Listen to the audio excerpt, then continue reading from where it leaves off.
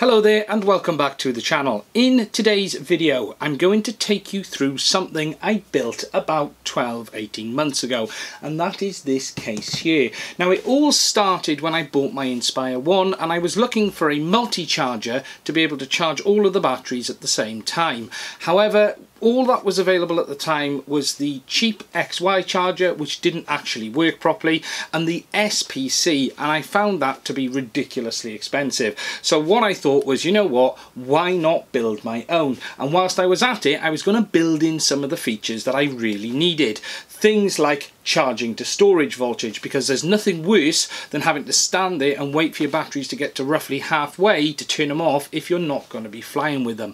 So over the past 18 months this charger has evolved and it now supports the Inspire 2 as well as Crystal Sky charging as well. So what I'm going to do is take you through it, show you what I've built, what I've done and in the description for this video I'm also going to put some files and information as well if you want to build your own. So quickly looking around the case itself, it is a standard cheap storage case. It's not one of the expensive ones. I would have loved to have put it in one of the really hard plastic ones, but at the time the budget just didn't allow it. Obviously, I've got the handle, the latches, and then on this side here is a hole with a fan to give it some airflow. Moving around to the back, you will see an additional few extra holes that I have managed to drill in a completely random place. That is to give some airflow into the case as well. So the way it works is it draws air in at the back, through the case and out at the side over there to give airflow over the power supplies. Looking inside the case you will find all of the charging ports and I'll show you these now a little bit closer. Looking inside on the top left you have the usual power connector which takes a standard 3 pin kettle lead. In the middle, I fitted an LCD screen. Now this screen is one of those cheap standard ones which will allow you to hook it up to a Raspberry Pi or an Arduino and you program it via that. And this will currently show the battery charge voltages. It shows them in 1, 2, 3, 4 so I can monitor how each of the batteries are charging as it goes along. Moving over, I then have the standard Crystal Sky base. This allows me to charge the CS and Cendence batteries, and it also uses the standard DJI remote controller charge connector, and this cable does have some spare on it, so I can plug in a remote to charge if I really want to. This one is hooked up to that final battery slot over there, so if I was charging the Crystal Sky batteries at the same time as all of these batteries, that end one would take slightly longer to charge. Next to that, I then have a 2 amp USB port for charging things like my iPad mini, my iPhone, and whatever else USB devices I might want to charge, like the remote controller on the Mavic Air, for instance. Along the bottom, you can see each of the charge slots for the DJI batteries. Now, these are 3D printed. I designed them myself, and they are designed to take the TB50 for the Inspire 2. I did originally have some in there for the DJI Inspire 1 pack, the TB47 and 48. However, I recently modified the case because I've no longer got the Inspire, I've only got the Inspire 2.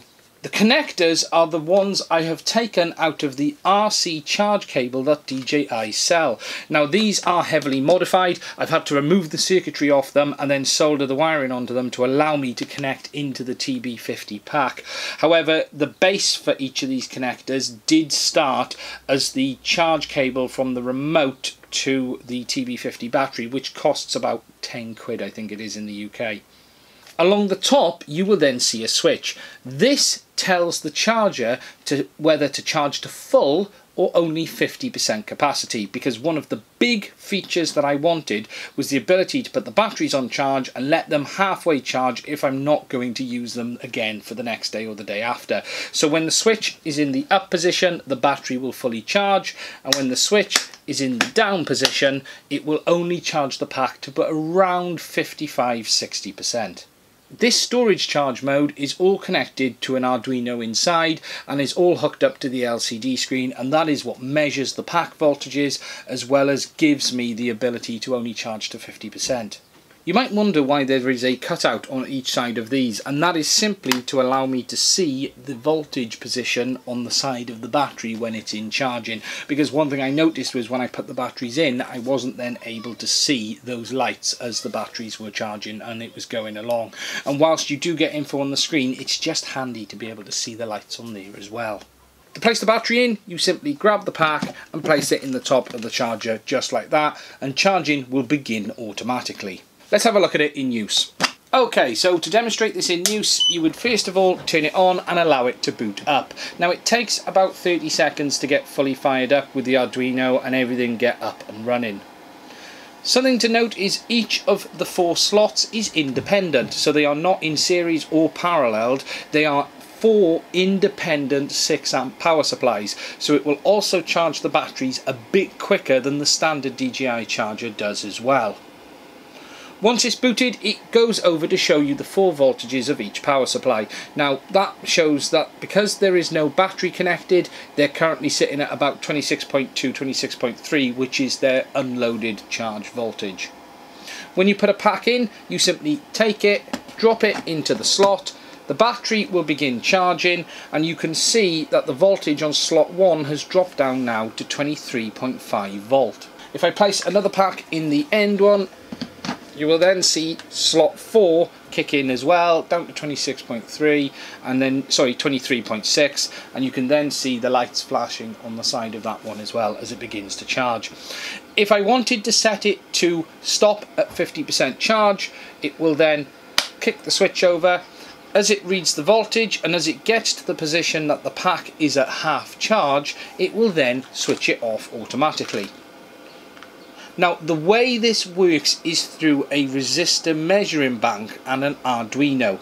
So each battery is connected into the charger but it is also looped into a resistor bank and then the Arduino itself. And the Arduino is looking for a specific voltage to shut the pack down at. Now off the top of my head I can't actually remember what I set this to and it does take a little bit of tweaking to get it right but you have a resistor dropper bank to get it down to between 0 and 5 volt in the Arduino and then that shows it as a reflection of the voltage on the display on the charger. Next, I'm going to take you through the horrors that lie beneath the top, and I'm going to be completely honest, this has always been a work in progress. It was never designed to look pretty, it was only ever designed to be functional, as you will find out shortly. Okay, I've lifted the lid on Frankenstein, and as you can see, it may look a total mess, and the reality is, it probably is. And I've never really sat down and had the chance to tidy it all up and make it look as it is. To explain what we have, okay, in the base you have four 30 volt 6 amp power supplies. Now these adjustable voltage that have allowed me to take them down to roughly 26.3 and you don't really want to go much over 26.3 for charging DJI batteries, the 6S ones I should say. In my experience that's the absolute sweet spot, especially with the Inspire 1 batteries. The TB48 is massively temperamental on charge voltage. Um, so you've got your four power supplies in the bottom. Over here then I've just got a small regulator that powers a normal PC fan. You might wonder what these holes are for along here. Well, originally when I built this for the Inspire 1, the battery actually came through the top and into the base with the modification I have made for the Inspire 2, obviously those slots are no longer needed and they're covered over. What you can see though is the bottom of my 3D printed brackets with the wires soldered onto the boards. Now as I said, those boards were the original charge boards for charging your remote controller from the TB50 battery. What I've done to them is stripped them out of the wiring, removed all of the circuitry and basically just turned it into a giant connector. I needed four to do it, cost me about 40 quid, but it was about the easiest way of doing it with this charger. Down here you have the 2 amp USB power supply and that is simply a off the shelf cheap eBay job which is hooked up to one of the PSUs and then there is a USB extension cable with the port that goes to the top of the charger from there.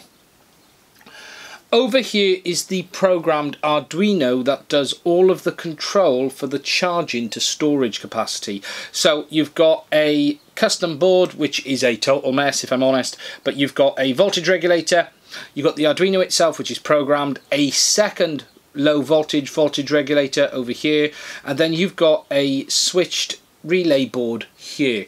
The way it basically works is the voltage comes into this section of the board here and through this little resistor bank that you can just see showing.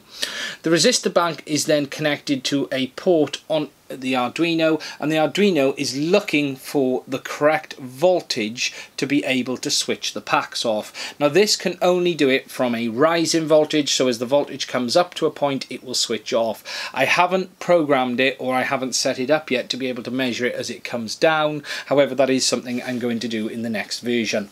You then have a switch which turns the option on and off and that switch simply goes into the Arduino and it's basically like an interrupt. So if the switch is in one position, do nothing. If the switch is in this position, only charge to 50% capacity.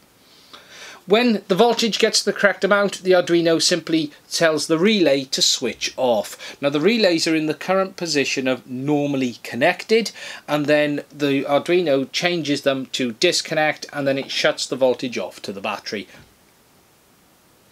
Because the voltage then gets shut off, the power supply voltage rises quickly to above the charging voltage and then the relay still remains off. One of the problems I am going to come across is when I do set it to do come down to that level for discharging, I need to be able to tell it to actually if it's in this range rather than say if it's above this turn off as I've got it currently programmed. Overall, the charger is quite basic in the sense of it is simply four power supplies with an Arduino that connects to a relay board which connects to the batteries. The Arduino measures the voltage. As long as alongside measuring the voltage, it also provides that voltage output to the LCD display through that little hole down there overall I just wanted to show you guys what I had done with this and if you are looking to build your own charger this may give you some ideas. Certainly if you're going to try and do it do it a lot tidier than I have. Um, this is functional but it absolutely works. You might wonder why there's bits of glue everywhere and the reason for that is to stop the connectors coming loose. And it's actually fairly resilient. I've been tossing it in and out the back of the car and I've not had anything break on it yet. I did have a power supply go down about three weeks ago and the the reality is these were really cheap PSUs. I think they were like 16 quid each. They really were not expensive. Model number wise, they are called S-150-24. So they're 24 to 30 volt PSUs and they have a variable voltage output that allow you to set it to about the 26.3 you want for the Inspire pack. And overall, that is it for this video. As you can see, I've got it currently fully loaded with two Crystal Sky packs as well that are charging. So for me, it's just a nice, small, portable charger that allows me to get everything done out and about, and it allows me to just put it in the back of the car and not have to worry about chucking in cables and charge things and things like that. Thank you very much for watching. Hopefully you might have learned something from it. Please do subscribe to the channel and I'll do another video again soon.